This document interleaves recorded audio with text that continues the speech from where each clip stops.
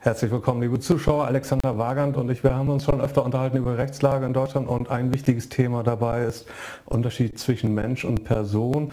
Du hast dich sehr intensiv damit befasst. Wir haben schon über Selbstverwaltung und über alles Mögliche gesprochen. Mhm. Wir wollen jetzt eine Sendung machen, mal ein bisschen mm, ein, oder Wege aufzeigen, aber auch äh, ein bisschen vorsichtig sein. Es gibt keinen einfachen Weg aus dem System. Also den Zahn müssen wir auch den Leuten ziehen, die denken, wir machen jetzt was und dann können wir einfach aussteigen.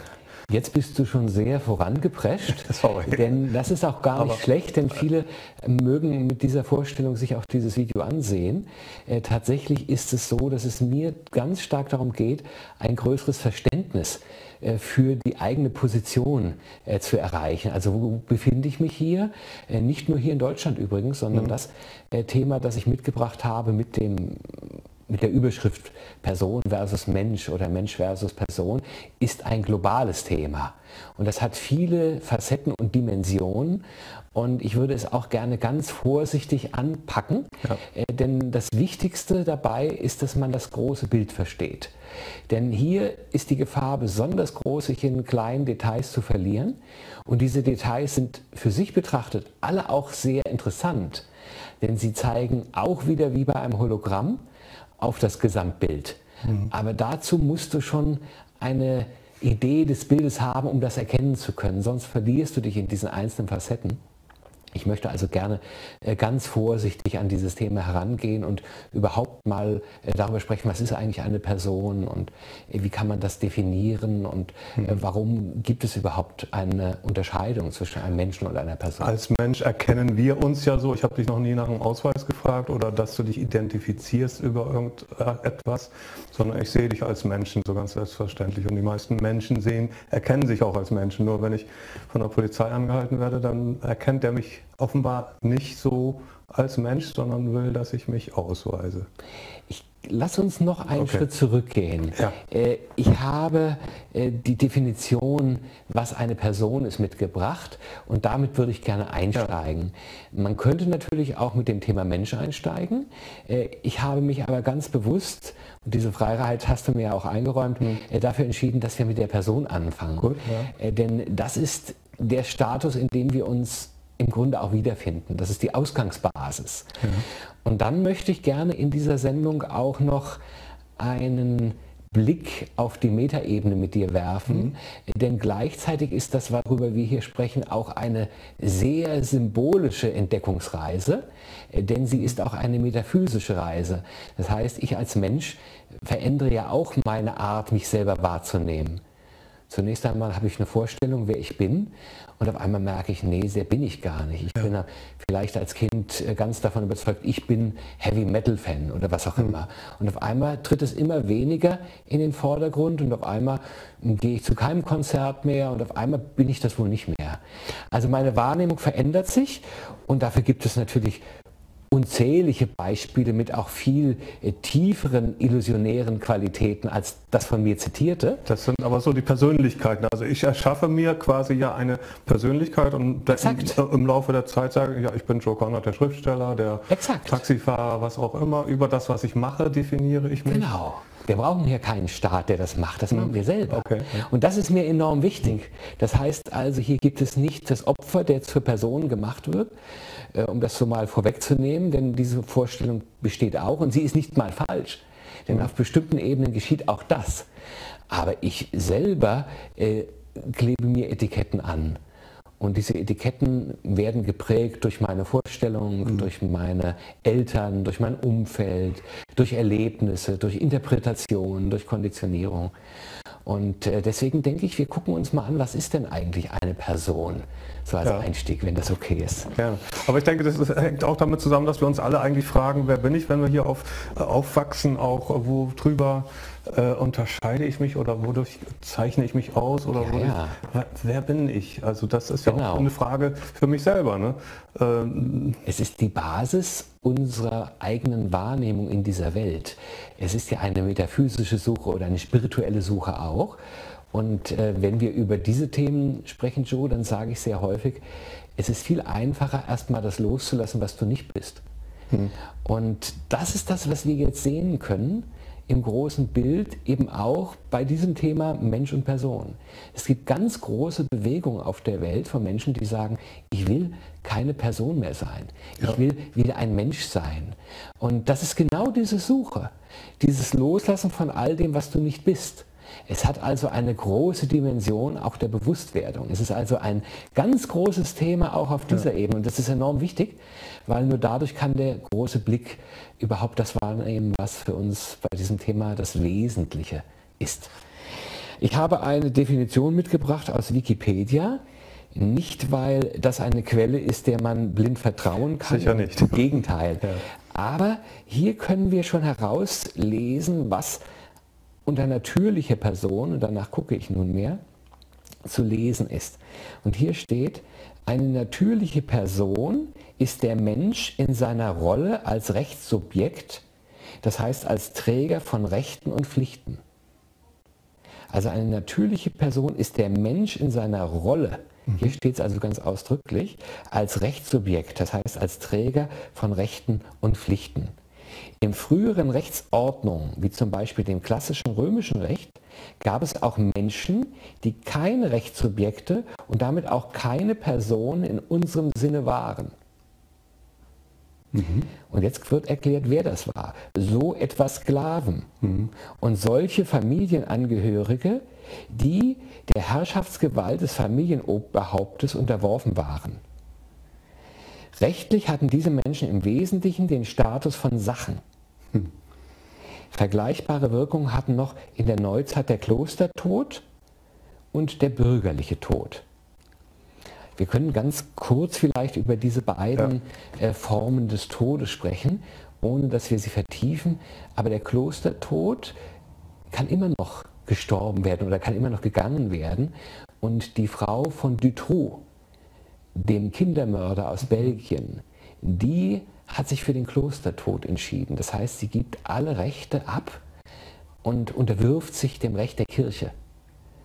Und dann ist sie dort auch nicht mehr vor ein anderes Gericht zu zitieren. Ja. Und äh, das äh, ist etwas, das sehr interessant ist. Das finden wir ein bisschen auch noch bei Sportgerichten. Also auch dort gibt es eine Gerichtsbarkeit, wenn beispielsweise jemand gedopt war, kann er vor ein Sportgericht gestellt werden und ist dann für alle anderen Gerichte tabu. Ach, auch interessant. Ja. Also wir finden noch merkwürdige für unser eigenes Rechtsverständnis nicht verständliche Strukturen, die äh, ein Hinweis sind darauf, dass es eben vieles gibt. Aber das mit dem Kloster ist interessant, das kennt man aus Filmen manchmal, dass man, dass dann irgendwie ein Polizist dann irgendwo ins Kloster geht und ich möchte die da befragen, die ist da in ihrer Zelle und so, kann sie aber auch nur befragen, mehr Möglichkeiten so hat er nicht. Das, das heißt, hat auch etwas mit dem Status der Kirche zu mhm. tun, der übrigens zwei Personen benutzt, um diesen Status ähm, auszudrücken. Und das ist einmal der Vatikan und dann noch der Heilige Stuhl und dann der Papst selber, die alle für sich dort, wo sie sind, eine eigene Rechtspersönlichkeit mit ganz anderen Rechten wieder bilden. Mhm. Also Personen können auch durchaus Rechte haben, äh, die über das, was wir uns so vorstellen, hinausgehen. Hier aber noch kurz der Hinweis zum bürgerlichen Tod. Der bürgerliche Tod hat auch etwas mit Entrechtung zu tun. Wahlrecht geht beispielsweise verloren, wenn der bürgerliche Tod vonstatten geht. Und dieser bürgerliche Tod äh, war nur in einem einzigen Staat auf der Welt, jedenfalls nach meiner Kenntnis, ausdrücklich verboten. Und das war im Bundesstaat Preußen. Im Bundesstaat Preußen war der bürgerliche Tod verboten und damit gab es auch keine Möglichkeit, einem Preußen ähm, seines Eigentums zu berauben Aha. oder ihn eben der bürgerlichen Rechte zu entziehen. Das, das ist ja sowas wie vogelfrei, ne? Bei, bei, oder? Ist das der bürgerliche Tod geht in diese Richtung. Ja. ja. Und äh, tatsächlich ähm, haben wir, wenn wir über dieses Thema jetzt weiter sprechen, nochmal Berührung damit. Hier steht aber noch etwas anderes, was von Bedeutung ist. Hier steht also, es gab auch Menschen, die waren keine Personen und die waren sowas wie Sklaven. Also hier wird uns schon gesagt, du kannst eigentlich froh sein, dass du eine Person bist, denn sonst äh, hättest du diese ganzen tollen Rechte nicht. Und das ist ein Hinweis, der von großer Bedeutung ist und den wir gleich noch betrachten können. Mhm. Ich habe hier äh, mitgebracht beispielsweise noch einmal den ersten Paragraph aus dem bürgerlichen Gesetzbuch. Und äh, dort heißt es in Paragraph 1, die Rechtsfähigkeit des Menschen, also hier wird nicht von der Person gesprochen, die Rechtsfähigkeit des Menschen beginnt mit der Vollendung der Geburt. Mit der Vollendung ja. der Geburt. Also interessant natürlich auch zu sehen, dass der Mensch vorher keine Rechtsfähigkeit hat. Also das, was wir uns vorstellen, dass beispielsweise das ungeborene Leben geschützt werden muss, ist hier jedenfalls nicht herauszulesen. Wo man sich vorstellen kann, dass die Seele da schon lange drin ist in diesem Ungeborenen, aber das ist natürlich davon erstmal unberührt. Es gibt aber trotzdem auch eine ähm, Person, die auf einmal auftaucht in diesem bürgerlichen Gesetzbuch und das mit ganz dramatischen Wirkungen. Ähm, dazu vielleicht nur, bevor ich über diese konkret spreche, noch ein Hinweis. Ich habe auch extra noch ausgedruckt, ist hier irgendwo versteckt. Hm, ich finde es, einen ganz kurzen Moment.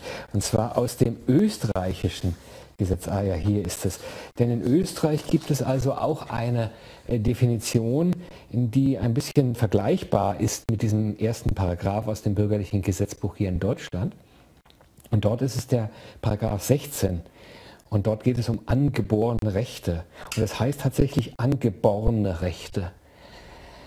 Und dort heißt es, jeder Mensch hat angeborene, schon durch die Vernunft einleuchtende Rechte und ist daher als eine Person zu betrachten. Hm. Also hier wird ein Zirkelschluss gemacht, ja. der ganz eigenartig ja. ist. Also hier wird etwas erklärt und daraus wird etwas abgeleitet, was zunächst einmal überhaupt keinen Zusammenhang erkennen lässt. Also hier taucht diese Person auf. Und tatsächlich ist das bürgerliche Gesetzbuch, das allgemeine bürgerliche Gesetzbuch aus Österreich, älter als das bürgerliche Gesetzbuch in Deutschland. Es ist das, eines der ältesten überhaupt. Und hier sehen wir also diese Person, die taucht schon viel früher auf. Und äh, ich habe dazu etwas mitgebracht, was ich gerne noch als Definition aufzeigen möchte. Ich tue das übrigens auch deswegen, weil äh, um dieses Thema herum enorm viel Missverständnisse mhm. entstehen. Mhm. Und äh, viele Menschen das, was sie dort vorfinden, sofort übertragen auf ein neues Modell, ein neues Konstrukt. Und ich möchte gerne einfach erstmal so den Ist-Stand ja. wenn du erlaubst. Lass mal genau definieren, was ist Was Person? ist denn eigentlich eine Person? Also wir haben jetzt eine Definition ja. äh, hier aus dem österreichischen äh, Gesetzbuch. Wir haben aber noch nicht weiter was gehört, wie das hier in Deutschland vonstatten geht. Und ich würde gerne zunächst einmal einen Blick in das etymologische Wörterbuch des Deutschen werfen. Das ist ein großartiges Werk. Ähm, ich habe es mir vor vielen, vielen Jahren schon mal gekauft mhm. und inzwischen kann man es aber auch im Internet finden und die beste Ausgabe ist das Grimmsche Wörterbuch. Das äh, ist noch umfangreicher, war früher sehr, sehr teuer und ist inzwischen eben im Internet zu finden, ist eine Empfehlung. Und da kann man nachschlagen, äh, was Definitionen betrifft. Natürlich ist auch das, was hier in diesem Buch steht, eine Idee ja. Oder eine Beschreibung einer Idee. Äh, hier wird aber recht gut versucht zu erklären, woraus entsteht denn eigentlich dieser Begriff. Und Ethymus, heißt übersetzt der wahre Sinn. Also hier wird der Versuch gemacht, im etymologischen Wörterbuch nicht nur eine Definition abzubilden, sondern auch zu erklären, wo ist das entstanden und ja. wann ist es in die Welt gekommen. Person, dann steht hier für Mensch als Individuum, als lebendes Wesen, als Träger bestimmter Eigenschaften. Mhm. Entlehnung aus dem lateinischen Persona und das heißt ursprünglich Maske des Schauspielers. Ja. Und hier merken wir schon, dass ein Schauspieler natürlich immer nur eine Rolle spielt und selbst wenn er völlig in dieser Rolle aufgeht, also sein eigenes Leben spielt, dann ist es doch immer nur ein Aspekt des Ganzen. Mhm. Nie alles. Es ist immer ein Ausschnitt also eine Maske zeigt immer einen Ausschnitt. Sie zeigt ein fröhliches Gesicht oder ein weinendes Gesicht, aber sie zeigt eine Momentaufnahme. Ja. Das ist sehr wichtig noch. Und hier ähm, können wir also lesen, dass das ein wichtiger Faktor ist. Und dann steht hier noch weiter, schließlich das Wesentliche im Menschen. Also hier wird es quasi schon auf den Kopf gestellt. Und dann steht hier, die ebenfalls im Lateinischen bei den Grammatikern ausgeprägte Bedeutung Handlungsträger wird im 5. Jahrhundert ins Deutsche aufgenommen und da entsteht das, was wir persönlich heute nennen. Also wir merken, das Thema ist viel älter. Mhm. Das ist kein Thema, in dem man uns heute irgendwelche Rechte beraubt, sondern das Thema Person taucht viel, viel früher auf. Handlungsträger heißt also, dass, die, dass der Mensch dadurch, äh, dass er handelt quasi, äh, sich definiert, oder? Genau, genau, das, was du tust. Und wir sind in unserer Zeit ohnehin sehr tunsorientiert. Ja, wer Seminaren. bist du? Ich Mülle, ich bin Müllmann, ich genau. wäre Mülltonnen. Das, ja. Da definiere ich mich drüber. Ja. So. Oder ich mache dies oder ich mache ja, das. Ja. Ich, mein Hobby ist das. Also ich definiere mich im Grunde auch durch das, was ich produziere, was ich in die Welt bringe. Und wer äh, im Sein ist und sagt, was meinst du, ja, äh, ich frage nicht, die Frage äh, ist einfach die falsche, wenn du mich fragst. Ich ja. bin das, was ich bin. Aber man fragt Kinder schon, was willst du mal werden, anstatt dass man sagt, sie sind ja schon was. Ne? So ist es. Und denkt aber, wodurch werden sie mal ihren Beruf? Also hier sehen wir, dass, diese, dass dieser Punkt also durchaus schon älter ist. Ja. Und wir werden nachher auch noch nachschlagen, was hier unter Mensch steht. Mhm. Und ähm, möchte dem nur nicht vorgreifen. Hier steht übrigens, das habe ich mir extra markiert, Personal da steht dann Gesamtheit der Beschäftigten, Angestellten, besonders in Dienstleistungsbetrieben, Belegschaft, Bedienungsmannschaft, auch die Hausangestellten. Also hier haben wir das Handeln auch ganz klar. Also die Bedienungsmannschaft, das ist ein mhm. interessanter Begriff. Mhm. Ja? Und die Entlehnung kommt auch aus dem 18. Jahrhundert. Also aus dem Jahre 1700 irgendetwas. Und da kommt es her, personale, zusammengehörige Personen gleicher Stellung. Gleicher Stellung. Und das gibt uns einen guten Hinweis, denn da finden wir die Strukturen der Matrix, in dem uns ja immer gesagt wird, wir sind ja alle gleich. Und damit werden wir automatisch in dem Glauben gehalten, dass wir dadurch bestimmte Rechte bekommen, aber wir schlucken die vielen Pflichten, die damit einhergehen. Ja? Und das ist der, gleich, aber einige sind gleicher als andere. Oh, wir, können natürlich, wir können natürlich in der Realität überall sehen, dass dem nicht so ist. Ja. Ähm, und auch wenn wir nur unsere Nachbarn betrachten, der eben ein anderer Mensch ist als mhm. wir. Wir haben etwas Verbindendes in uns, aber wir haben auch große Unterschiede, die wir in uns tragen. Ich habe ein paar Auszüge mitgebracht, auch aus den Gesetzestexten, wo es dann ganz konkret um Personen geht. Und ein wichtiger Satz oder ein wichtiger Abschnitt ist aus dem Einführungsgesetz des bürgerlichen Gesetzbuches.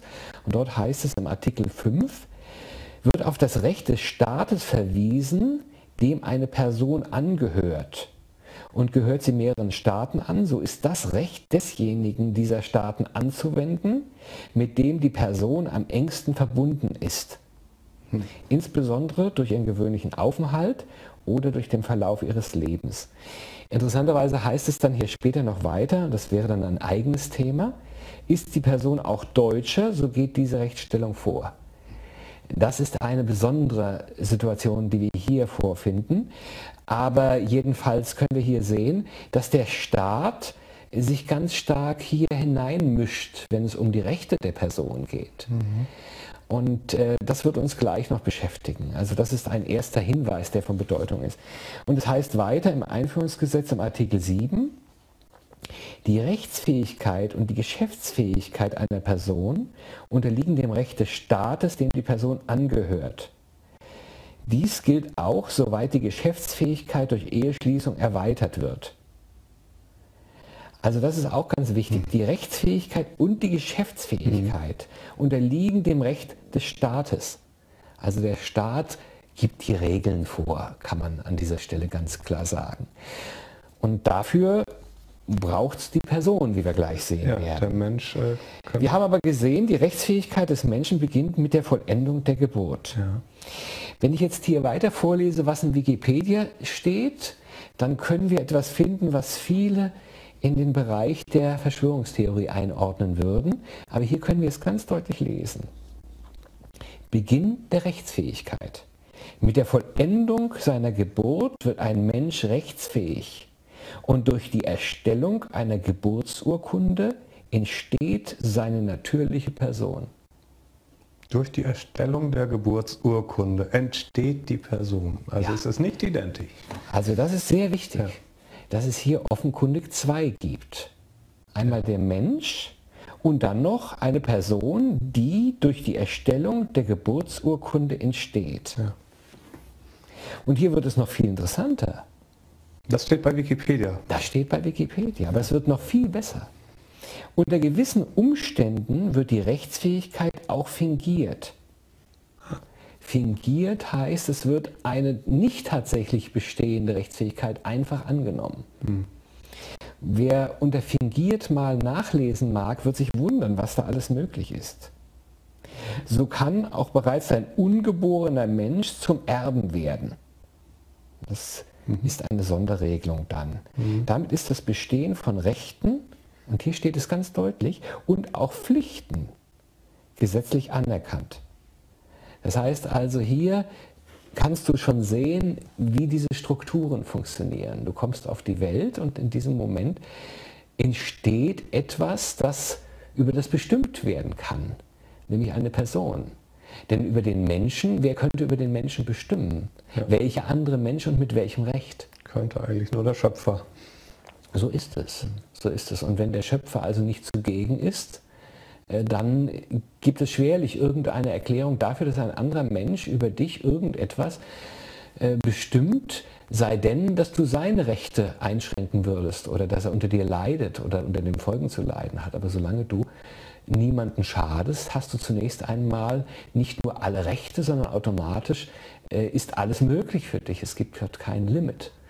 Hier muss aber ein solches gefunden werden und das geschieht eben, indem man ein Kunst, eine künstliche Figur schafft.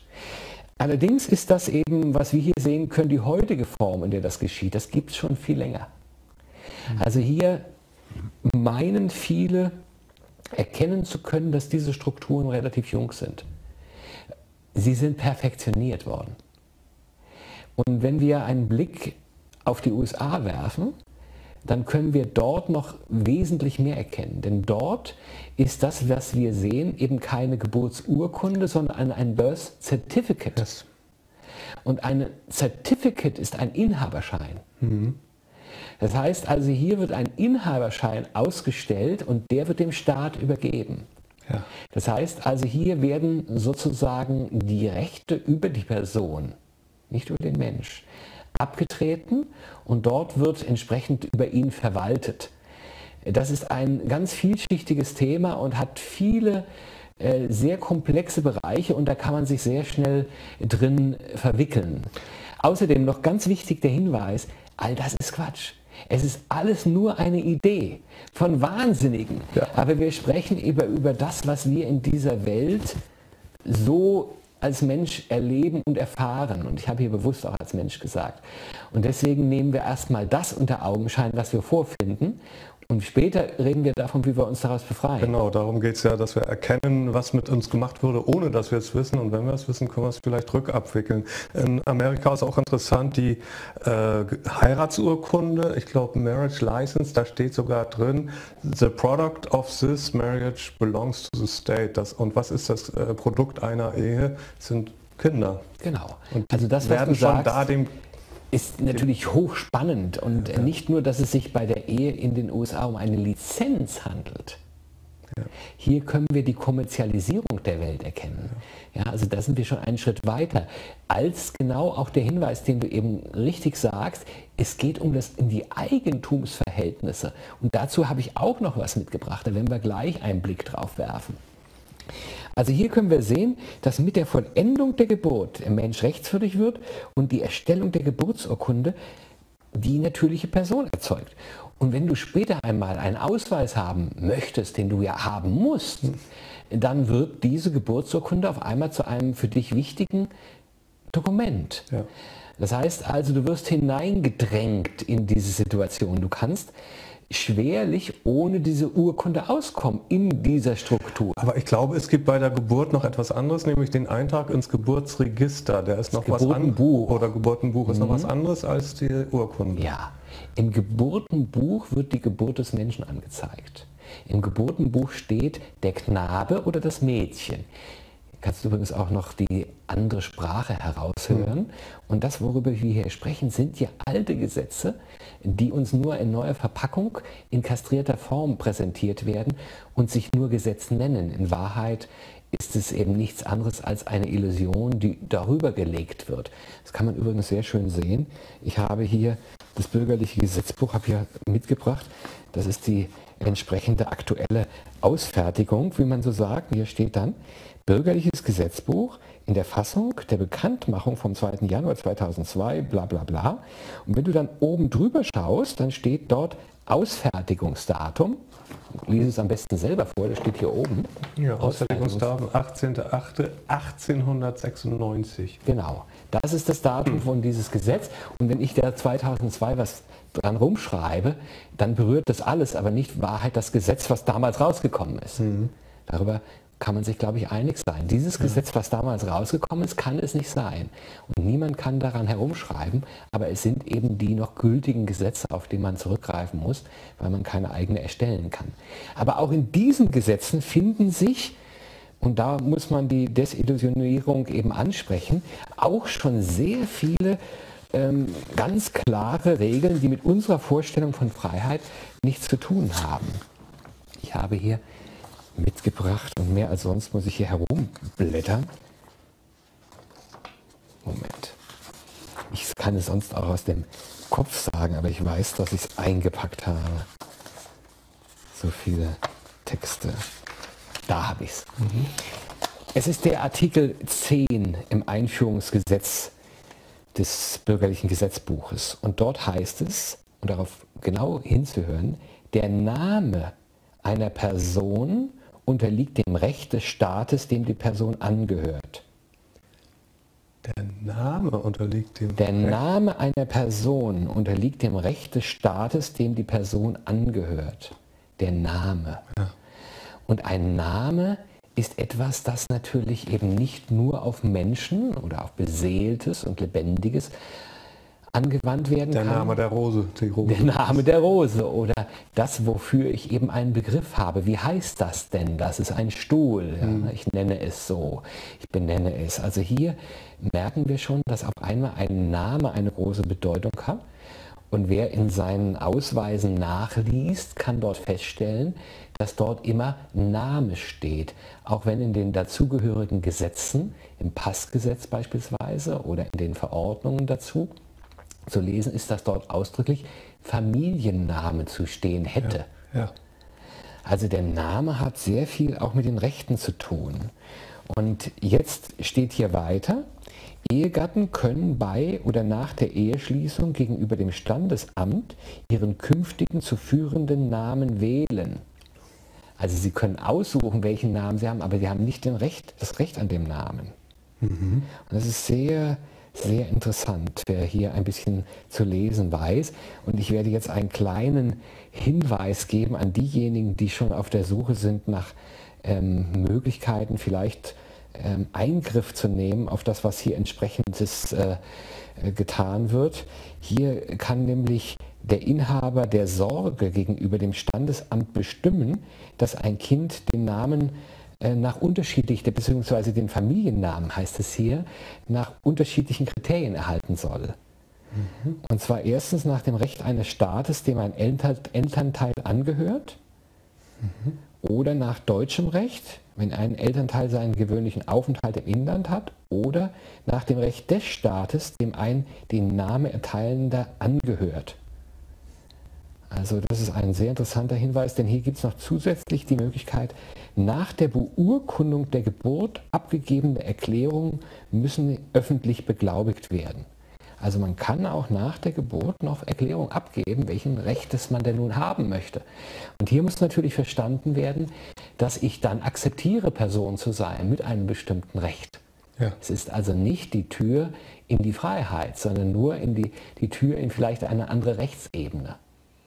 Hier können wir also sehen, dass Personen bestimmte Rechte haben. So sagt man uns. Aber sie haben eben auch eine ganze Reihe von Pflichten. Mhm. Und das ist die große, dicke, fette Kröte, die du mitschluckst. Und wer sich umschaut, der findet zwar Rechte hier als Person, aber er bekindet auch eine ganze Reihe von Pflichten. Und wenn wir uns zunächst einmal die Rechte betrachten wollen, dann können wir sehr schnell feststellen, dass diese Rechte in Wahrheit nichts anderes sind als Definitionen, die unsere ohnehin vorhandenen Rechte einschränken. Hm. Okay. Also wir haben beispielsweise das Recht auf Meinungsfreiheit. Ja. Aber wir wissen, was dieses Recht wert ist. Hm. Das können wir, und das möchte ich jetzt einfach mal ganz harmlos an einem Beispiel aufgreifen, im Moment an der Situation Russland-Ukraine-Krise ähm, politische Korrektheit sehen. Ja. Ja, da können wir sehen, dass Meinungsfreiheit so lange in Ordnung ist, solange sie die Meinung derer wiedergibt, Richtig. die über diese Meinungsfreiheit bestimmen. Ja. Und äh, wir können sehr schnell sehen, dass das sehr relativ ist. Aber tatsächlich hast du natürlich deine Freiheit, deine Meinung zu sagen. Das muss dir niemand geben. Ja.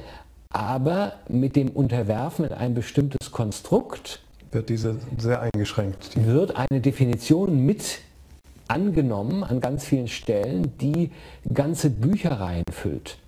Du bist eine Person, diese Person wird durch die Ausstellung der Geburtsurkunde jetzt mit bestimmten Rechten, nämlich den Rechten des Staates, dem du angehörst, angehörst, ja, äh, verbunden. Und wenn du in England geboren wirst, dann steht eben auch in deinen Dokumenten, dass du ein, dass du Eigentum der Königin bist. Ja. Mhm. Und das steht dort tatsächlich genauso, Subject of Her Majesty, the Queen. Und das, du bist das Eigentum. Mhm. Obwohl das natürlich als Mensch in unserem Verständnis äh, all unseren Vorstellungen zuwiderläuft. Und wenn ich noch einmal ganz kurz zurückkomme auf die Definition in Österreich, dann gibt es hier schon einen Hinweis in diese Richtung. Und zwar steht hier weiter, wir haben also gehört, jeder Mensch hat angeborene, schon durch die Vernunft einleuchtende Rechte und ist daher als eine Person zu betrachten. Sklaverei oder Leibeigenschaft und die Ausübung einer darauf sich beziehenden Macht wird in diesen Ländern nicht gestattet. Also hier hören wir natürlich schon sehr deutlich, dass das also eine Einschränkung ist und dass es das ja wohl gibt, aber in den Ländern, in denen eben dieses bürgerliche Gesetzbuch gelten soll, da wird das wohl nicht gestattet. Aber es ist eben auch eine Definition, was denn nun Sklaverei ist. Ja. Ich habe letztens gelesen, man ist immer dann ein Sklave, wenn man nicht zwei Drittel der Zeit frei für sich zur Verfügung hat. Mhm. Und nach dieser Definition gibt es wenig freie Menschen. Ja. Und wer sich umschaut, kann eben auch jetzt feststellen, dass auf einmal überall seine Freiheit über das Maß der Regularien, die man ihnen aufgedrückt hat, noch weiter beschränkt wird. Ja. Da bekommst du auf einmal möglicherweise einen gelben Brief vom ZDF und dieser gelbe Brief braucht nicht mal mehr einen Richter, der erlaubt, dass gegen dich vorgegangen wird, sondern alleine aus der eigenständigen Erklärung der eigenen Macht heraus wird all deine Rechte werden entsprechend gebrochen. Das ist ja ein eigenes Thema, GEZ. Ne? Das ist ein, angeblich ein aus einem Staatsvertrag, aber wir haben den Vertrag gar nicht unterschrieben. Das heißt eigentlich, wer äh, kann da von uns etwas fordern, wenn wir den... Und darauf wollte ich jetzt hinaus. Wir mhm. haben also eine große Einschränkung mit unseren Rechten als Person. Ja. Diese ganzen Einschränkungen kannst du in dem bürgerlichen Gesetzbuch herauslesen. Das ist das, äh, was einfach auch uns klar werden muss und auch wenn wir länger zurückgucken, gibt es immer Regularien zu finden, jedenfalls sehr, sehr lange zurück, die Einschränkungen bedeuten. Und das findest du auch in sogenannten primitiven Kulturen, in denen es vielleicht Jäger gibt und Sammler gibt und äh, dann den Medizinmann und andere, mhm. wo du als Jäger bestimmten Regularien unterliegst. Ja wo du sozusagen auch bestimmten Verpflichtungen ja. unterliegst. Ja. Eben als Person, würden wir heute modern sagen. Wenn du Jäger sein willst, dann musst du auch dies oder jenes tun. Willst du Krieger sein, dann musst du kämpfen für uns. Es sind Regularien, die immer eine Unfreiheit bedeuten. Und das ist etwas ganz Wichtiges, dass uns das klar wird. Also wir finden jetzt nicht vor, durch neuere Regularien äh, versklavt worden zu sein, die jüngeren Ursprungs sind, sondern wir finden ganz alte Regeln, wenn wir schauen. Das ist sehr wichtig, dass wir das verstehen. Aber wir werden immer mehr Rechte beraubt. Und das, was wir im bürgerlichen Gesetzbuch noch vorfinden, mit all diesen Einschränkungen, und diese Einschränkungen sind alt, wie wir eben schon gehört haben, mhm. du hast es vorgelesen, aus welcher Zeit dieses Buch stammt, mhm. all diese Regularien haben doch noch viele tatsächliche Rechte im Gepäck. Aber die werden jetzt auch noch abgebaut. Das heißt also, die Person, in der wir uns selber vorfinden, wird zusätzlich kastriert.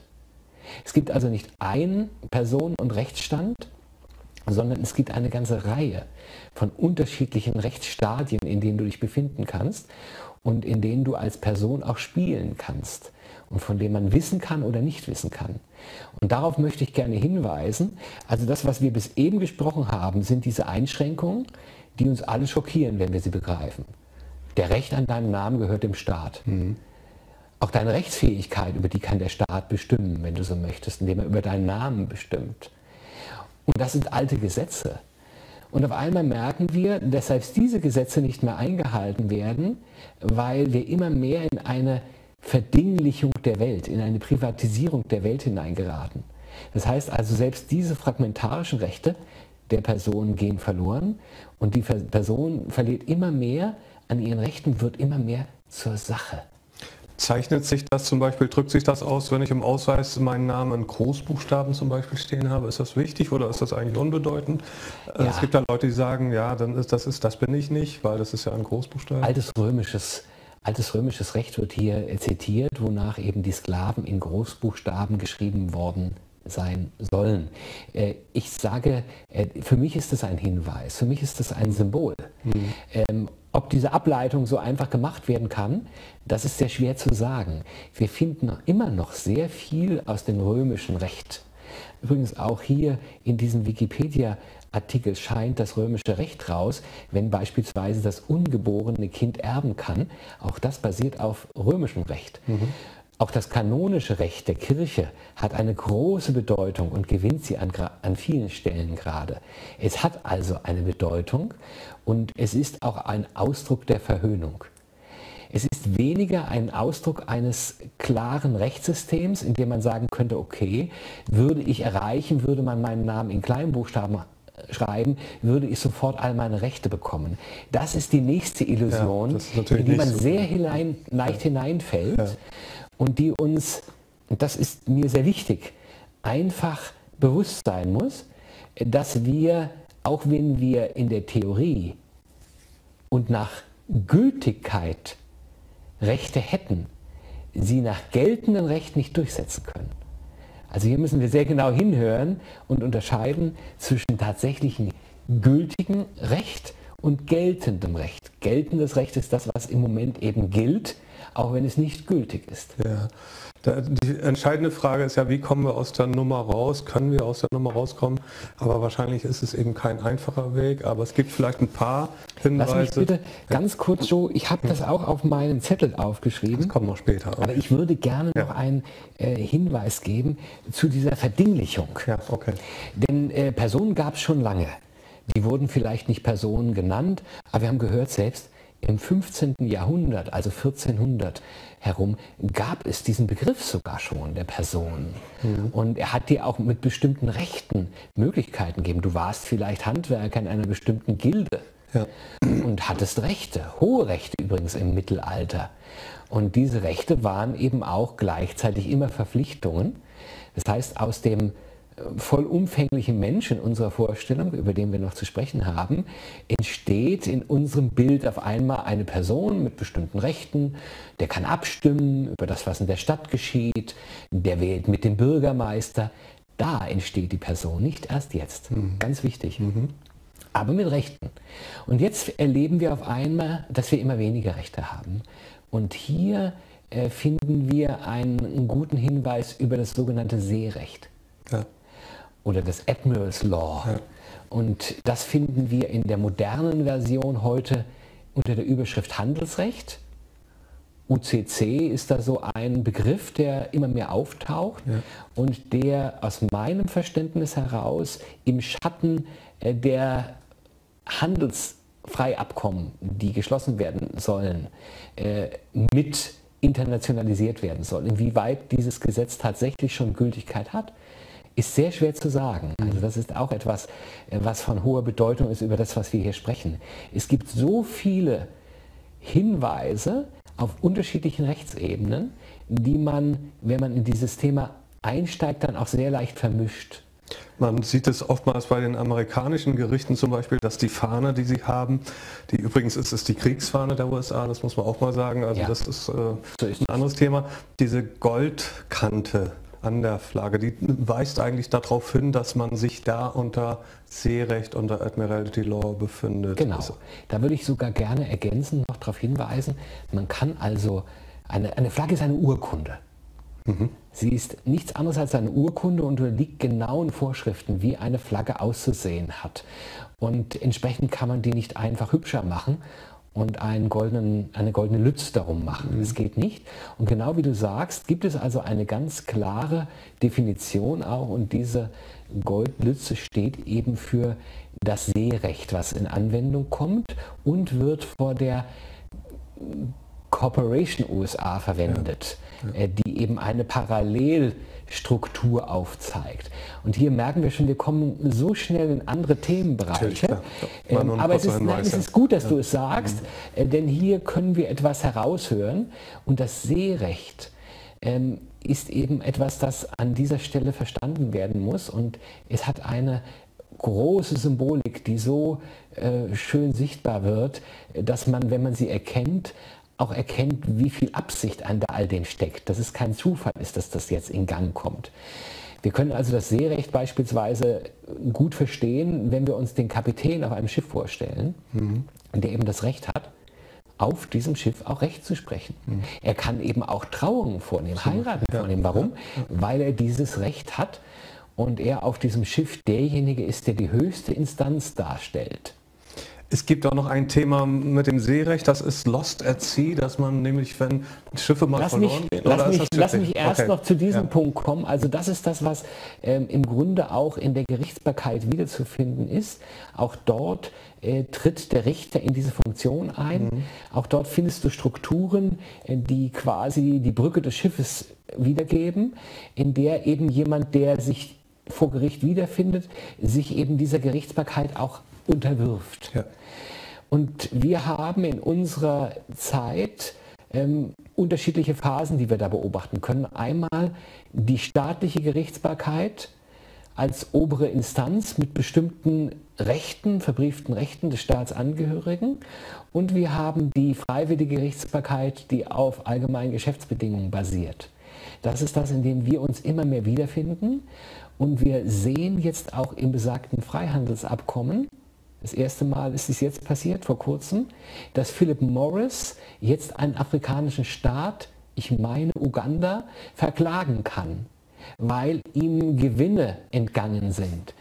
Das heißt, hier werden die Staaten zurechtgestutzt auf die Rechte von Firmen und die Firmen bekommen uneingeschränkt alle Rechte, sie brauchen, um diejenigen, die in den niedrigsten Stand der Person hineingedrängt werden, zu kontrollieren. Mhm. Es geht also um das Abbauen all der Rechte der Person. Es geht also gar nicht so sehr jetzt erstmal darum, kann ich diese Personenstruktur verlassen, sondern du verlierst gerade Rechte als Person. Und zwar unglaublich. Ja.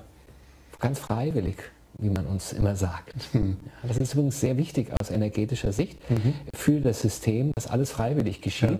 Denn als Mensch musst du freiwillig ja. in diese Struktur hineingehen. Und das geschieht stellvertretend nach deiner Geburt durch deine Mutter. Deine Mutter bringt dich auf die Welt und jetzt kommt was wunderbar Absurdes, aber so wird es erklärt. So wie ein Schiff zu Wasser gelassen wird, hier der Hinweis mhm. auf das Seerecht, mhm. und wie ein Schiff seine Ladung dem Hafenmeister gegenüber deklarieren muss. So gibt die Geburtsurkunde Auskunft über das auf den Weg gebrachte Schiff. Und hier wird quasi die Absurdität aufgebaut, mit der man meint, auf einmal über dich bestimmen zu können mhm. und dich unter dieses Seerecht unterwirft. Ja. Sehr interessant. Kann man das irgendwie rückabwickeln? Das wir müssen eigentlich die. Definition von Mensch nochmal, oder? ja, da kommen wir gleich hin. Okay. Also das mhm. Seerecht spielt eine große Rolle, mhm. das Privatrecht Und von daher, wenn wir über Personen sprechen, müssen wir auch gucken, welchen Personenstand sprechen wir. Ja. Und ich habe mir als letztes Thema aufgeschrieben, was kann man tun, um rauszukommen. Ja. Da würde ich dann gerne äh, das aufgreifen. Lass mich kurz gucken. Üblicherweise mache ich mir keine Notizen, ja. aber hier gibt es so viel zu sagen. Und ich habe mir aufgeschrieben, ganz wichtig ist eben der Name als Machtinstrument. Mhm. Also wer über den Namen bestimmt, der bestimmt alles. Und hier möchte ich nochmal einen Hinweis geben, bevor wir zum Mensch kommen, weil das ist ein direkter Hinweis darauf. Die Sprache ist das, mit, ist das Instrument, mit dem wir kastriert werden. Mhm. Das heißt, auf einmal wird aus dem Staatsangehörige der Staatszugehörige. Mhm. Auf einmal wird da der Bürger für den Staat. Und so verlierst du immer mehr Rechte. Und am Anfang hast du den Eindruck, ach, das ist ja alles dasselbe ob ich einen oder Personalausweis oder habe Nachname. oder ob der Familienname steht oder ob der Vorname steht. Und das ist alles sehr bedeutsam, ja. denn es zeigt, wie wenig wir selber bewusst wahrnehmen von dem, was andere als Definition benutzen. Ja.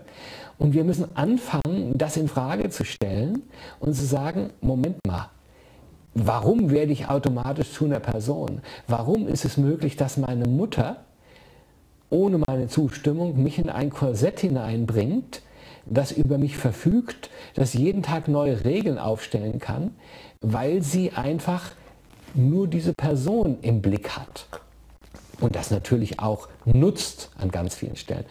Abschließend vielleicht nur noch, in den USA ist es tatsächlich sogar so, dass jeder Dort heißt es eben nicht Geburtsurkunde, sondern Geburtsinhaberschein. Das ist wie eine Aktie. Certificate, ja. Dort heißt es eben auch Stock Certificate. Wer das Certificate hat, das ist der Inhaber, ja. Ja, sein Inhaberschein. Und dort gibt es eben eine Nummer und das ist eine Wertpapierkennnummer in den USA. Das heißt, du kannst über diese Wertpapierkennnummer sogar nachschauen, wie stark du beliehen worden bist vom System. Denn auch das geschieht. Über diesen Weg ja. finanziert sich das System. Es wird gehandelt auf deine Person. So ist es. Mhm. Auch die deutschen Geburtsurkunden sollen gehandelt werden. Äh, das passiert aber über einen Umweg. Ähm, es ist sehr schwer, das wirklich herauszufinden.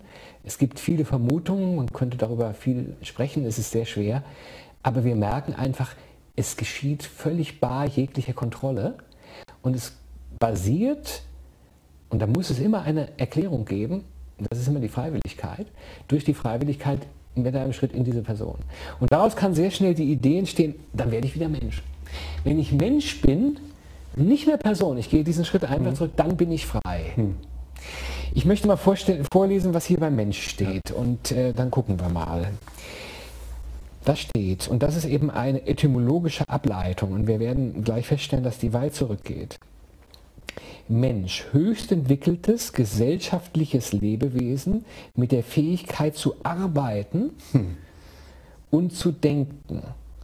Und dann steht hier weiter in der Ableitung Mensch, Mädchen, Bruderin, Mark, Knecht, das menschliche Geschlecht, Minster, Mens sind aus einer Substantivierung des Mensisk, ja, männisch, menschlich, mannhaft, angelsächsisch männigsk entstanden.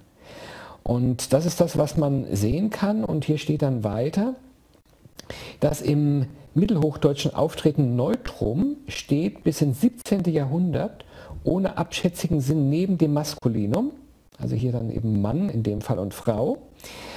Und dann steht es weiter, wird häufig für eine weibliche Person und wird seit dem 18. Jahrhundert durchgehend abwertend gebraucht. Also hier geht es jetzt um den Begriff Markt. Entschuldigung, mhm. das habe ich überlesen. Mhm.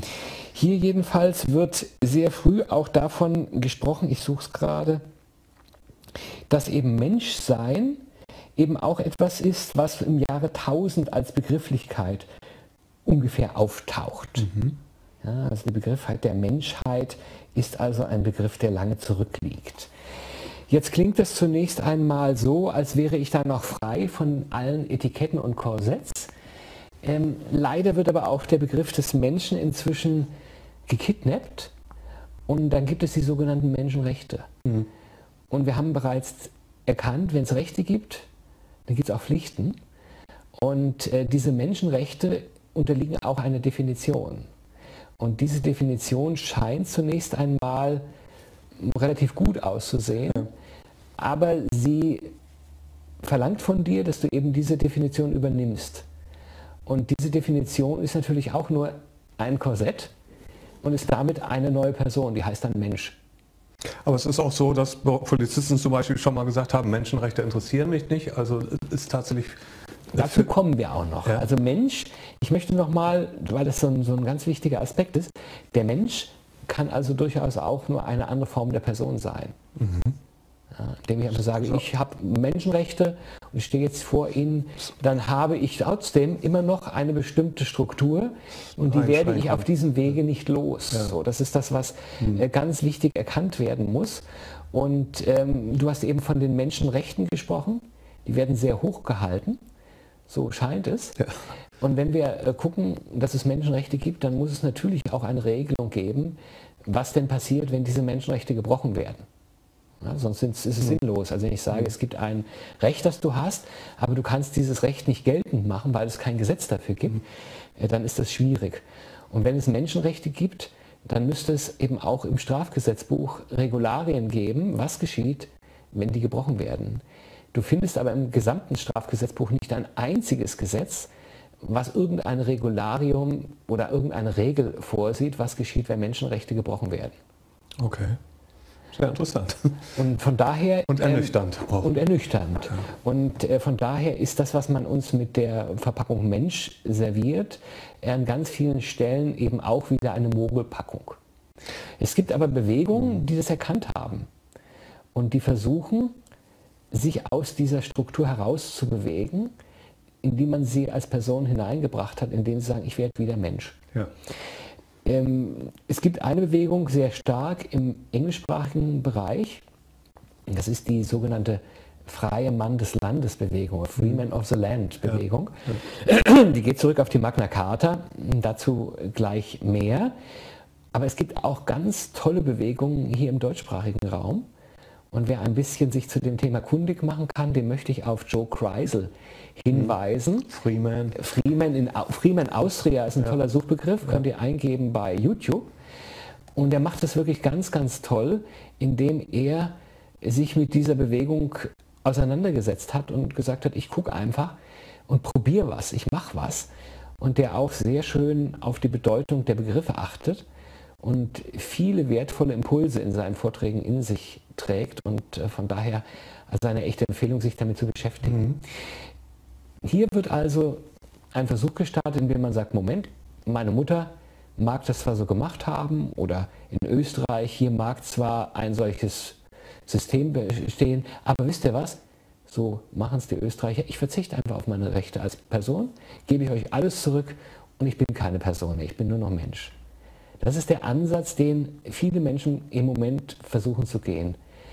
Und hier, Joe, ein ganz kurzer ähm, Einschub. Mhm. Das ist genau unsere Suche, die hier auf der äußerlichen Ebene erkennbar wird, auf der wir uns befinden.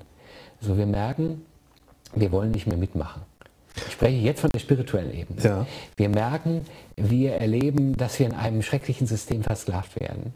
Wir erleben schreiende Ungerechtigkeit. Wir merken, dass wir zwei Drittel unseres Lebens für andere in Bewegung kommen. Ne? Und dass es sehr schwer ist, das zu finden, was Bestand hat und das Wesentliche auf unterschiedlichsten Ebenen. Das könnten wir lange, lange, lange ausbauen.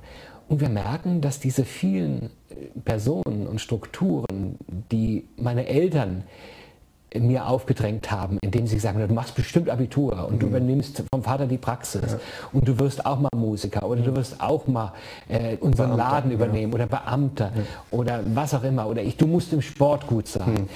Dass all diese Strukturen einen hohen Wegzoll und einen hohen energetischen Preis von uns verlangen und wir wollen die gern loswerden. Das ist ein Aspekt und das siehst du in dieser Bewegung. Hier möchte ich, ich will einfach nur Mensch sein. Lass mich alle in Ruhe. Ja. Da können wir alle den Buckel runterrutschen. Das ist das, was sich hier ausdrückt. Ich will Mensch sein und nicht mehr Person. Ich will nicht mehr ein Etikett von euch kriegen. Ich will nicht mehr eine Schublade. Und das ist eine unglaublich sympathische Idee und ein sympathischer Ansatz. Und das ist das, was ich, worauf ich hinweisen möchte. Ich möchte aber, das kann man schon raushören, darauf hinweisen, es ist eben auch ein Mensch immer nur ein Aspekt von dir. Ja. Auch als Mensch Wenn ich dich als Mensch wahrnehme, nehme ich dich nicht in deiner wahren Qualität wahr, sondern in deinem momentanen, aktuellen Ausdruck als Mensch.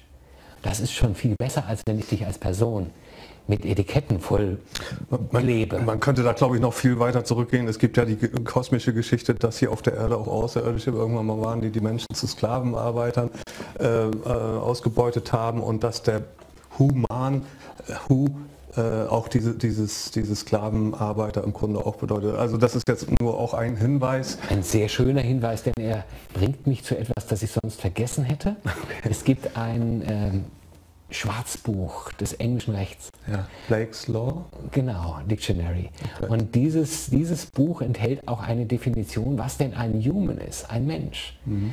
Und dort steht unbeseeltes Seeungeheuer. Ein schöner Hinweis auf das Seerecht. Ja.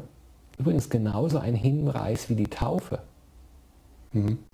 Die auch wenn sie nicht unbedingt tatsächlich mit der heutigen Form des Seerechtes einhergeht, ein Ausdruck genau dafür ist. Genauso wie die blauen Uniformen unserer mm, ja, Polizei, mhm. äh, die wir überall sehen können weltweit, die einen Ausdruck des Seerechts in sich trägt. Marineblau, mhm. ja, dunkelblau.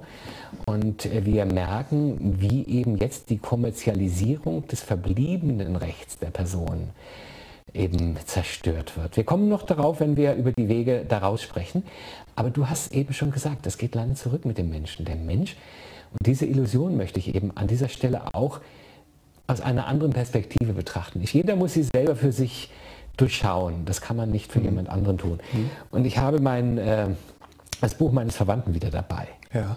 Handbuch des Schwindels von Ewald Gerhard Seliger. Ich bringe es in Kürze tatsächlich raus. Wir sind schon sehr weit. Das Buch wird jetzt nochmal lektoriert.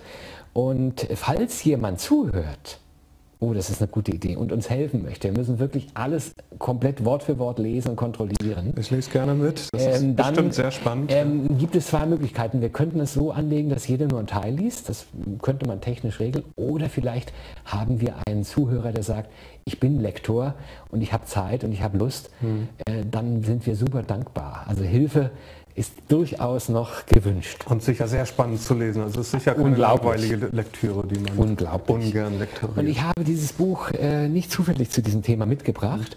Ähm, wir sprechen hier vom Mensch. Und ähm, vielleicht noch ein kurzer Sprung zurück, Joe. Die heutige Sendung ist ein bisschen unstrukturierter, als ich es mir erhofft habe, weil dieses Thema so. Sorry. Nein, nein, das ist mein, genauso eben auch mein Aspekt. Es ist so komplex mhm. und es fällt schwer, so ganz stringent in einer Richtung zu bleiben. Und eben fällt mir noch ein zum Thema äh, der Bewegung, der freie Mann-Bewegung, die ich wie gesagt sehr schätze, mhm.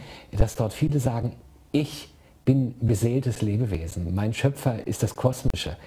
Manche schreiben auch, ich bin ein Abkommen Adams und weisen also auf ihre Ursprünge hin. Und deswegen dieser Hinweis, denn ich möchte vorlesen, was mein Ur-Uronkel unter dem Thema Adam schreibt. Mhm. Adam, nicht der erste Mensch, sondern der erste Sklave. Hm. Als Mensch hätte er im Garten Eden sprechen müssen, dass du dir Jahwe oder Jehova am Schluss deiner Schöpfung nichts anderes hast einfallen lassen als einen so armseligen Schlucker, der sich alle Tage dreimal voll Nahrung stopfen muss, um nicht vor Schwäche umzusinken, das lässt verteufelt tief blicken, nämlich bis auf deinen Grund. Du hast dir wohl nichts Klügeres einfallen lassen können, du allmächtiger und allwissender Gott. Du sprichst ganz genau so, jetzt kommt was Interessantes, genau so wie ein Großgrundbesitzer. Und der Engel mit dem bloße hauenden Schwert, benimmt sich einfach schneidig und dienstvorschriftsmäßig wie ein irdischer Gewaltbüttel, wie ein Polizist. Mhm. Es fehlen ihm nur noch die weißen Handschuhe und die Pickelhaube, um seine Mörderhände und seinen Hohlkopf zu verhüllen. Mhm. Es geht noch weiter. Ich möchte nur darauf hinweisen, ja. dass hier von ihm sehr gut erkannt wird, wie all diese Strukturen, in denen viele Menschen noch ihre Freiheit vermuten, genau die gleiche Art von Struktur bereithalten, mit der du wiederum eingefangen wirst. da müsste man eben auch die heiligen Schriften und eben das, was da vermittelt wird, hinterfragen und den Gott, der im Alten Testament ein äh, Blick auftritt. reicht ja. im Grunde. Ein Blick reicht, um zu sehen, was für Strukturen dort zu finden sind.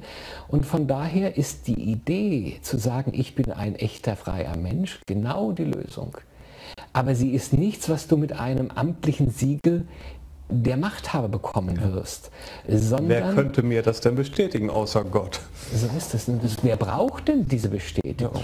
Du bist, wir untereinander brauchen sie nicht. Du bist und damit ja. ist alles gesagt. Ja. ja.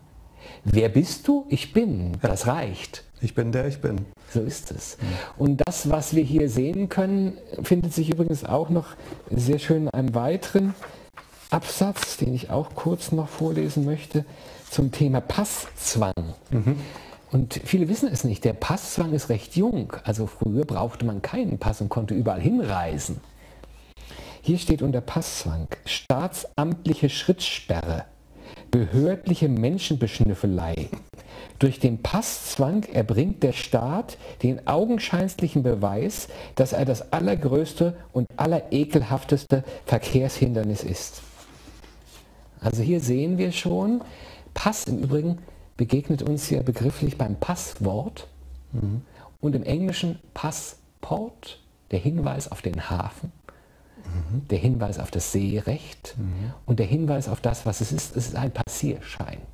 Da kriegen wir auch wieder das Problem, wenn wir sagen, wir sind nicht mehr Person, wir erklären uns als Mensch, wenn wir jetzt in Urlaub fliegen wollen, kann so ist das es. natürlich große Probleme bereiten. So ist es.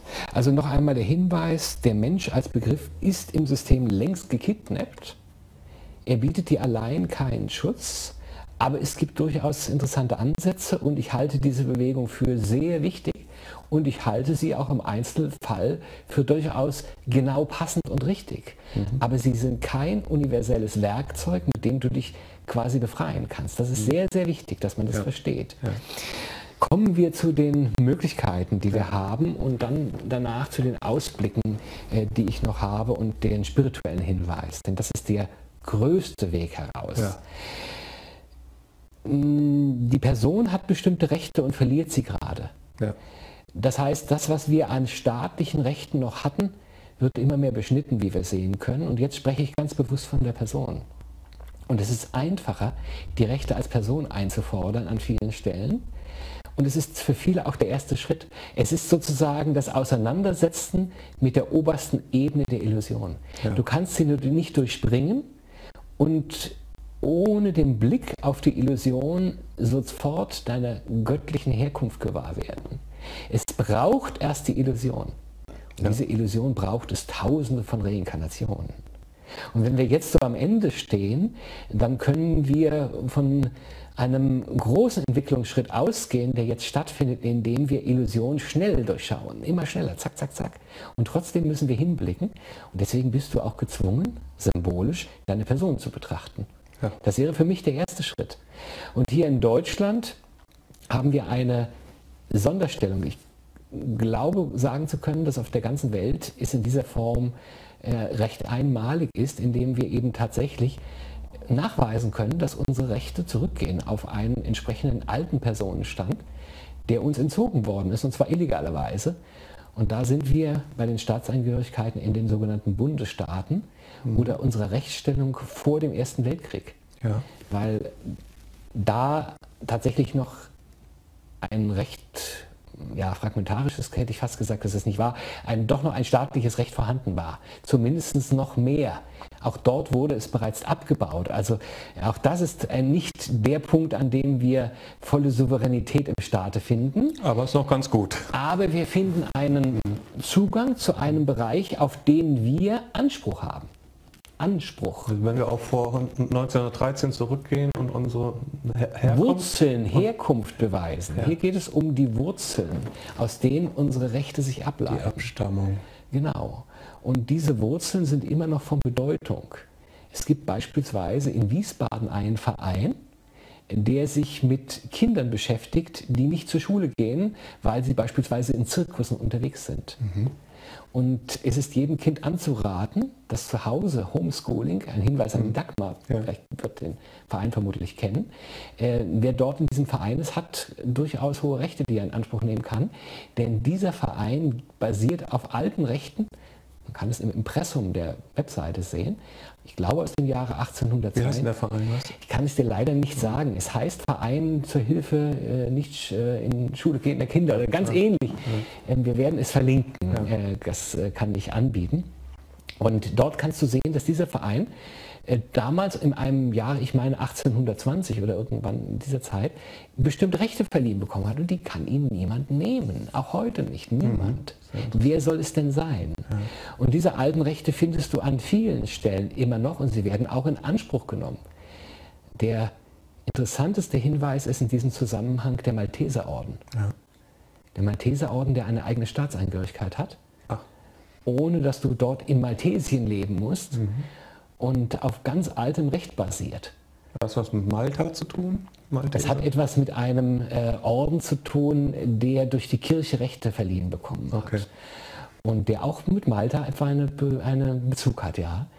Viel wichtiger ist aber, dass wir sehen, dass diese alten Rechte noch von Bedeutung sind. Denn wir mhm. haben häufig die Vorstellung, sie seien bedeutungslos. Ja, weil man neuere Gesetze hat. in, den, in England, wir haben eben über die freie Mannbewegung gesprochen, mhm. da wird der Bezug auf das sogenannte Common Law genommen.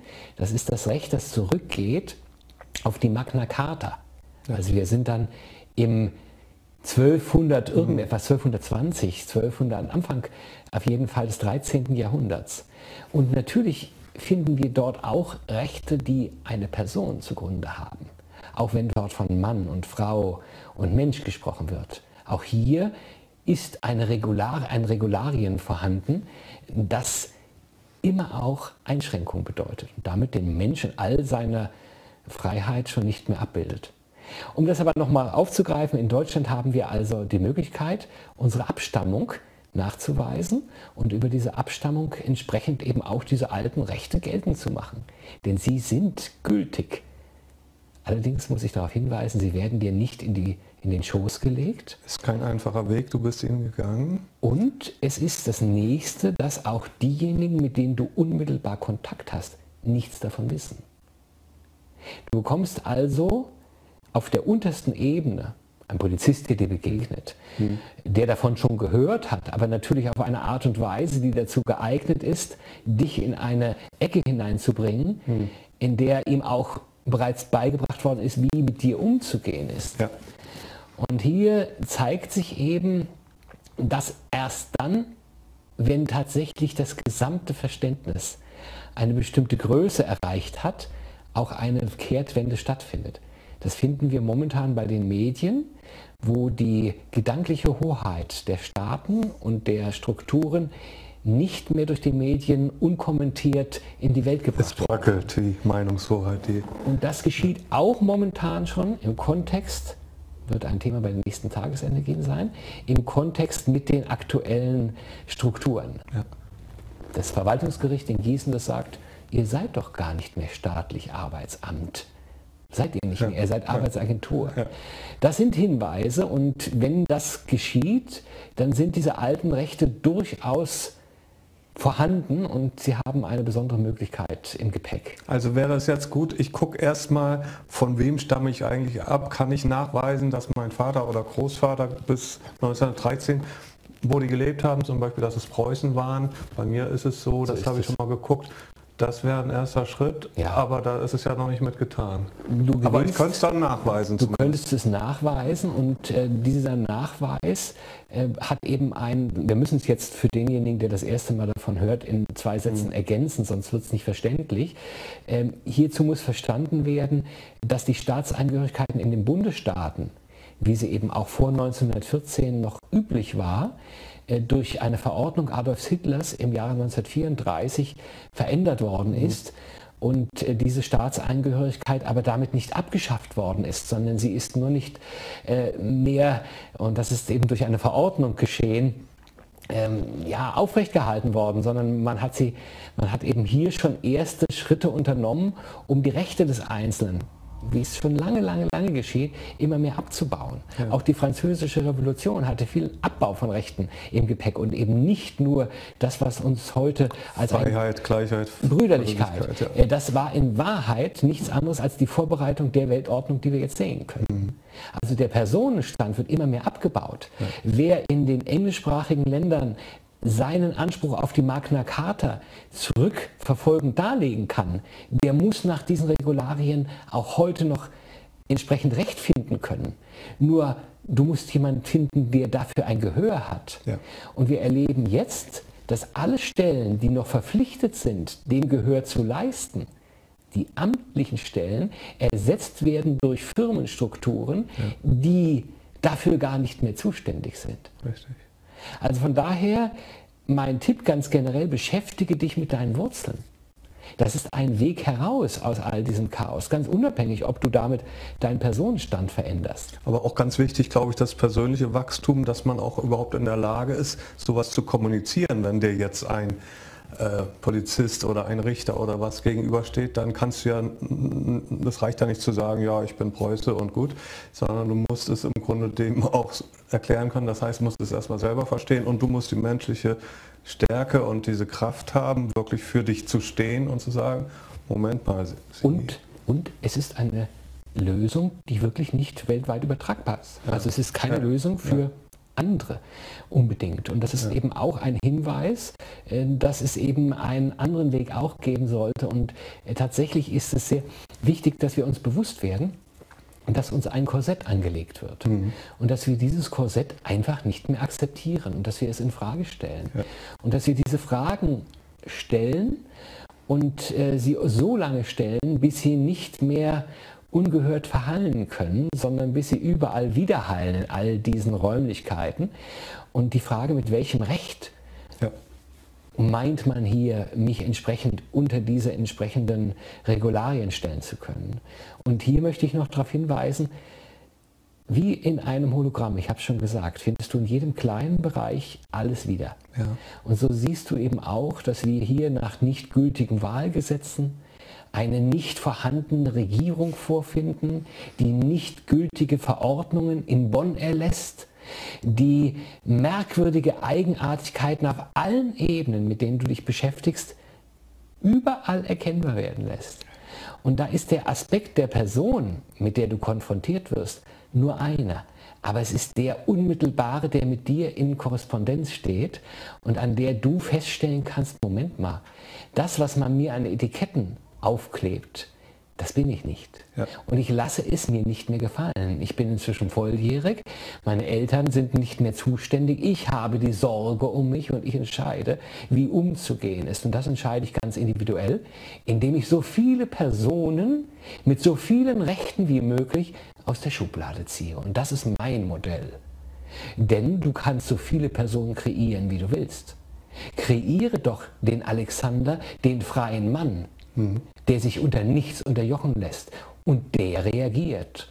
Und es ist sehr schwer nachzuweisen, dass es ihn nicht gibt, denn er kann vor dir stehen. Und niemand außer ihm kann diese Erklärung abgeben. Das heißt, wenn du ein bisschen kreativ bist, dann kannst du sehr wohl mit diesen Personen spielen. Es kann der Preuße gebraucht werden. Und wenn du tatsächlich ins Ausland fährst, und es ist unvermeidlich, dann kannst du sogar, ohne dass du dich prostituierst, die übliche Person herausholen mit deiner Geburtsurkunde und dir einen Ausweis geben lassen. Viele Menschen haben die Vorstellung, damit unterwerfe ich mich. Mhm. Was für ein Unsinn.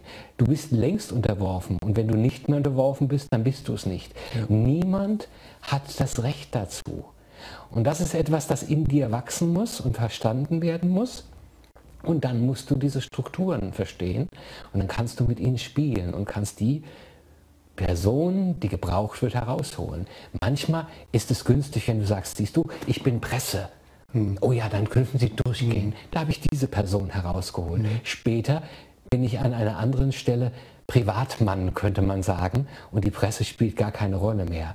Oder ein Glaubensmann. Du Oder an einer Glaubens anderen Stelle, ja. genau, ja. Äh, weise ich hm. darauf hin, dass ich Laienpriester bin hm. und habe an dieser Stelle als Person Eintritt in einen Bereich, der anderen Nicht-Personen mit diesem Status versperrt ist. So funktioniert die Welt. Die Vorstellung der Spirituellen, der Welt entfliehen zu können, indem man vor ihr davonläuft oder beschreibt, wie schrecklich sie ist, zeigt nur, dass sie das Wesentliche der Welt nicht verstanden haben und versuchen, auf eine recht feige Art und Weise zurückzukriechen in den Uterus. Hm. Das funktioniert aber nicht. Wir sind herausgetreten, das ist jetzt der, die Situation, in der wir jetzt sind. Wir sind herausgetreten und finden uns in einem totalen Chaos. Und jeder versucht uns irgendwo mit irgendeinem Netz einzufangen. Ich bin vom ZDF, Sie müssen bezahlen. Sehen Sie, ich habe Ihnen sogar einen gelben Brief geschrieben. Ein anderer kommt und erzählt etwas von Parteigesetzen.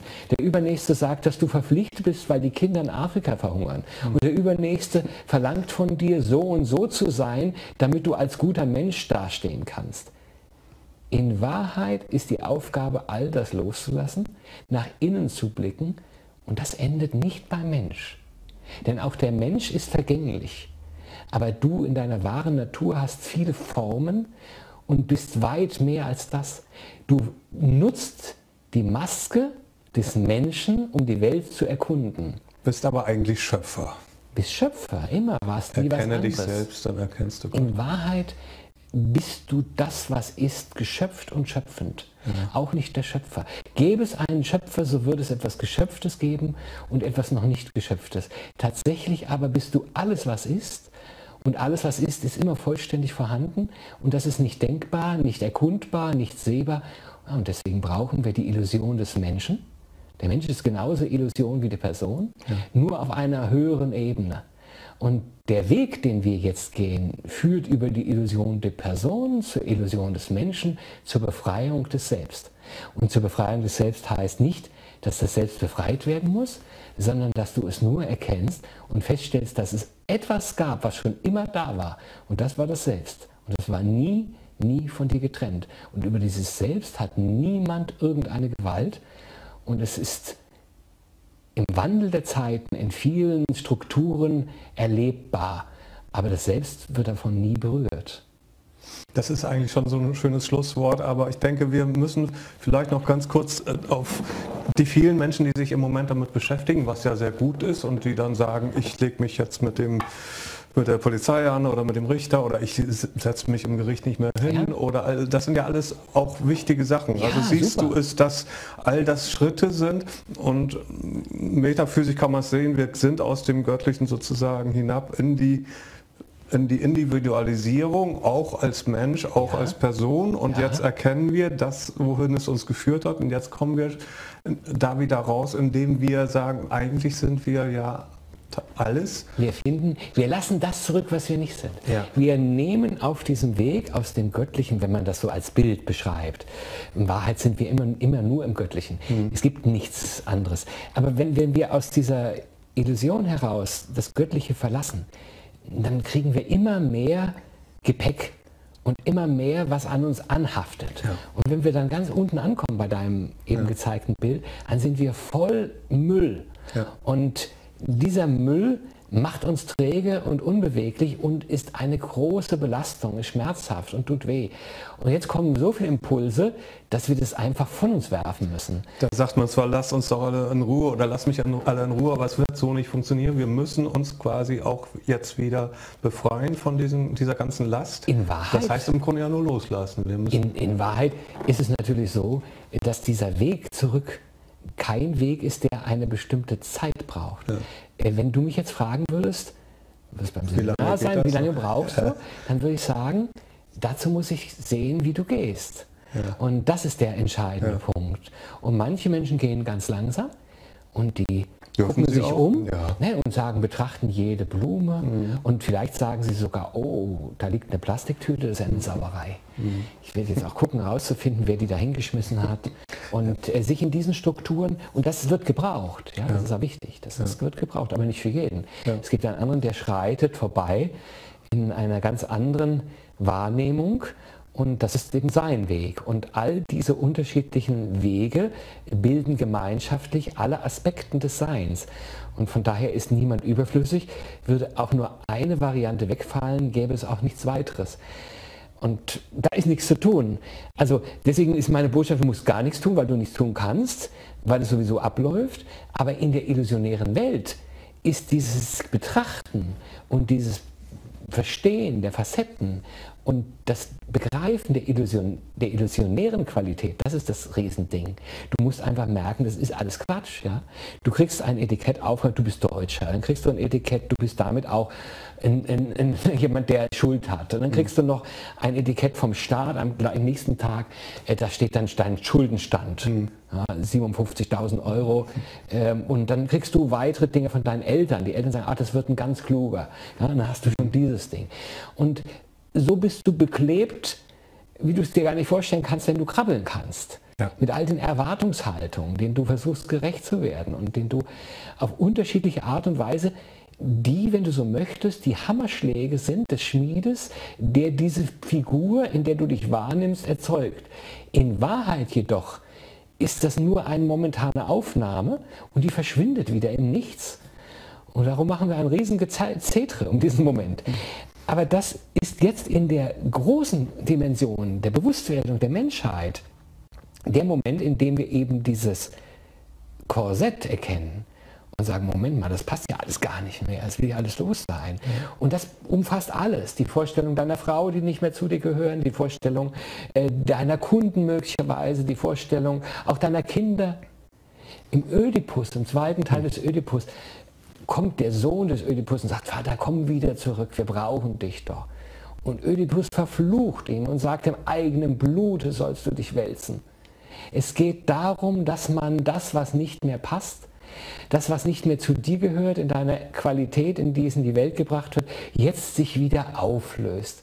Es ist wie in der Darstellung im Hinduismus, im Indischen, wo du die Göttin siehst, die alles gebiert Mensch, Tiere, alles was kommt und dann wieder frisst. Das ist das, was geschieht. Und in dieser illusionären Qualität, in der wir uns jetzt feststellen, merken wir, das sind wir in all den Facetten. Und da mhm. muss die Person auf der obersten Ebene muss sterben. Und deswegen stirbt zunächst diese Idiotenperson, die man uns jetzt aus uns macht, EU-Bürger. Ja. Wir, erleben, ja, ja. wir, erleben, wir erleben eine Europawahl. Es gibt keine Wahl, Europawahl. Es gibt eine EU-Wahl eines Vereins mit ihrem Vorstand. So, und das merken die Leute. Das funktioniert nicht mehr. Die Energie reicht nicht mehr. Und das stirbt zuerst. Und dann geht es in die tieferen Strukturen. Dann merke ich auf einmal, naja, Preuße ist ja auch eine Figur. Figur. Und dann merke ich auf einmal, ah, ich bin Mensch mit den Werten der Magna Carta. Und sage ich, nee, eigentlich auch nicht mehr. Mhm. Ich bin was anderes. Ich bin göttliches Wesen in einer illusionären Wahrnehmung gefangen. Ja? Und diese Wahrnehmung ist das, was sich jetzt löst. Und da stirbt die Figur zuerst. Und auf dem Weg dahin kann es viele Abenteuer geben, das ist individuell. Es, Bei jedem gibt es, gibt es äh, auch individuell krasse äh, Erfahrungen. Also wir wollen jetzt hier auch nicht leichtes äh, sagen, es ist leicht und gibt, sagt einfach, ihr seid Preuße und ähm, so funktioniert es nicht oder es kann so funktionieren. Wir können, wir können wir ja schon mal einen zweiten Teil, wenn es gewünscht ja. wird, machen, wo wir ganz konkret auch Sachen zeigen, von ja. mir aus. Nur es bringt einen leicht in eine Illusion, dass man so machen muss, ne? wie der Alexander, der hat das so gemacht. Nicht nur so, so, nicht nur das, sondern in Wahrheit mhm. ist das auch alles in Zwischenschritte. es sind Zwischenschritte. Die aber nötig sind und einige gehen sie halt auf die harte Tour auch durch und äh, werden richtig konfrontiert. Gehört zum Freisein, das ist ja immer unser Wunsch, natürlich für mich auch dazu, dass man auch eigenverantwortlich handelt, mhm. dass man jetzt sagt nicht, ich will frei sein, aber ich habe eben äh, ich mache eben doch noch Sachen, die eigentlich auch nicht in Ordnung sind, ohne sie selber zu betrachten. Es ist eine gefährliche, ähm, ein gefährlicher Hinweis, den du gibst, weil er sehr schnell auch in Moralitäten hineinführt. Mhm. Und es gibt viele Menschen, die sagen, das ist absolut unausweichlich, dass wir unsere Tochter gesteinigt haben, weil die mhm. wirklich ganz klar äh, gegen alle moralischen Werte verstoßen hat. Und äh, das ist kein Kriterium, äh, das sich so leicht heranziehen lässt. In dem Moment, wo du nicht die Rechte anderer beschneidest ja. oder sie in ihren Rahmen, ist es äh, niemandem anderen gestattet, über dich irgendwelche Verfügungen zu haben. Und äh, da ist die Lösung für all das. Ja. Da liegt die Lösung. Und die Lösung liegt dann in der Umsetzung. Das ändert sich immer wieder. Ja, man merkt, ah, heute würde ich das anders schreiben, ich weiß wieder mehr. Oder ich würde es vielleicht gar nicht mehr so machen. Oder dem muss ich nichts mehr schreiben. Manchmal ist ja ganz schlau, auch einfach nur Fragen zu stellen. Mit welchem Recht äh, fordern Sie jetzt gerade das von mir? Oder äh, wo steht das? Und warum glauben Sie, dass Sie dafür jetzt für mich die Lösung, sind? Joe, die Lösung liegt im Nicht mehr mitmachen. Mhm. Da liegt die Lösung. Mhm. Im Nicht mehr mitmachen, mein Bild ist immer die Pyramide. Mhm. Die, die Pyramide oben sind diejenigen, die ähm, wirklich, wo die, wo die Werte nach oben fließen sozusagen, oder die Macht nach oben fließt und all die Abfälle fließen nach unten. Und wir finden uns eben, selbst wenn wir im System oder innerhalb des Systems äußerlich erfolgreich scheinen, eben in diesen unteren Bereichen der Pyramide, manchmal auch dazwischen und damit haben wir einen gewaltigen Druck von unten und oben. Tatsächlich aber, wenn die unteren nicht mehr das System stützen, und das geschieht durch nicht mehr mitmachen, durch nicht mehr mitmachen, ja. nicht mehr funktionieren, in Frage stellen, so wie du, wie du sagst, in Frage stellen, fragen, was, auf welcher Basis. Und hier musst du natürlich zunächst einmal dir selber diese Fragen stellen. Das ist der erste Schritt immer, ja. dass du selber anfängst, deine Perspektive zu wechseln und gar nicht so sehr ein bestimmtes Ergebnis erwartest, sondern sagst, ich gucke mir das mal einfach aus einer anderen Perspektive an. Ja. Und äh, dann liest doch mal diese Dinge, die wir im Grunde genommen ständig äh, präsentiert bekommen. Und wenn du sie wirklich ansiehst, dann steht es alles sehr offen da. Das ist ja auch das Interessante. Ja. Und noch ein Hinweis, und das ist vielleicht der konkreteste. Achte mal, und damit meine ich nicht nur dich, sondern ja.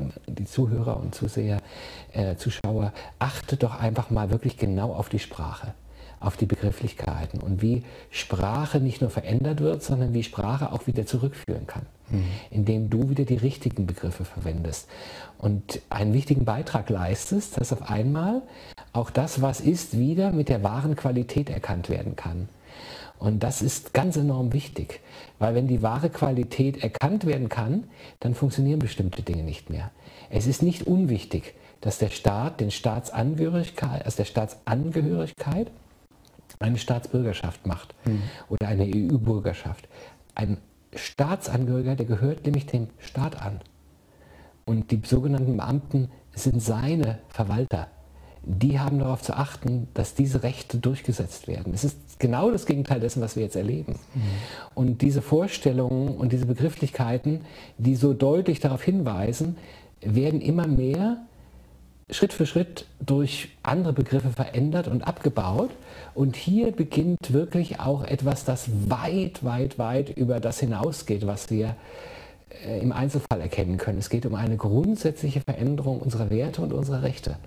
Und wenn du das erkennst, indem du die Sprache beobachtest, vielleicht weil du Rechte durchsetzen willst, hm. du kriegst irgendein ein, ein Schreiben und auf einmal merkst du da bestimmte Dinge und äh, merkst auf einmal, dass man äh, das, was man dort so in Anspruch nimmt, gar nicht gültig durchsetzen kann. Ja. Und geltend schon gar nicht. Äh, oder gültig schon gar nicht. Dass du auf einmal eben da genauer hinhörst. Aber es geschieht was anderes auch. Wenn du anfängst an dieser Stelle genauer hinzublicken, dann blickst du auch an anderen Stellen tiefer hin. Ja. Und das sind Hinweise, die auf deine wahre Natur hinweisen, indem du dann ein grundsätzliches Verständnis bekommst und du bist dann nicht mehr auf diese Art und Weise kontrollierbar, ja, indem du keinen mehr brauchst, der dir sagt, was richtig ist. Denn all diese Dinge sind Vereinbarungen ohne dein Zutun. Ja. Sie sind vollkommen ungültig. Von daher ist es auf einer bestimmten Ebene auch sinnlos, sich mit diesen Gesetzen zu beschäftigen. Auf einer anderen ist es wichtig. Ja. Und das ist das, was stellvertretend steht für alles, was du auf der äußeren Welt beobachten kannst. Wenn du es durchschaut hast, ist das dahinterliegende wesentlich. Aber bis dahin ist das der Weg zum Wesentlichen, auch wenn er äußerlich betrachtet so scheint, als wäre er genau das Gegenteil und ein Vorhang aus Illusionen. Aber nur dadurch kannst du durch ihn hindurchblicken und das Wahre dahinter kennenlernen und finden. Und dann merkst du, dass du keine Person bist, auch kein Mensch, sondern das, was sich jetzt im Moment durch dich selber zeigt und präsentiert und in deiner wahren Natur du davon völlig unberührt bleibst. Und das ist die Entwicklung, auf die wir uns aufgemacht haben und in der wir mittendrin sind. Wunderbar, ich danke dir. Sehr gerne. Alexander aus der Familie Wagand, Dankeschön. könnte ich sagen. Ja. Oder äh, Co-Schöpfer, Co-Creator. Ich danke dir. Sehr gerne, danke dir.